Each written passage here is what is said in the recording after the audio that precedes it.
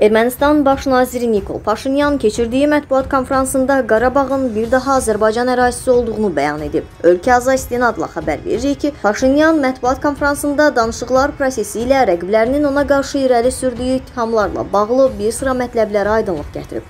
Xüsusilə 2016-cı ildə ATƏT-in Minsk qrupunun həmsədrlərinin Qarabağa aralıq statusu verilməsi təklifinə aydınlıq gətirərək deyib ki, erməni tərəfi bunu fəal şəkildə təbliğ və reklam etdi.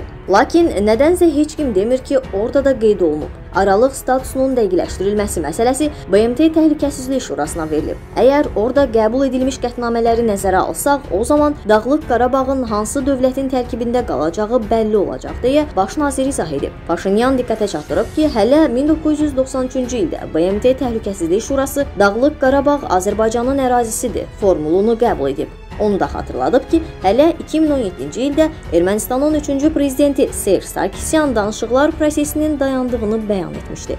Çünki Bakının gözləntiləri Yerevan üçün qəbul edilməz idi.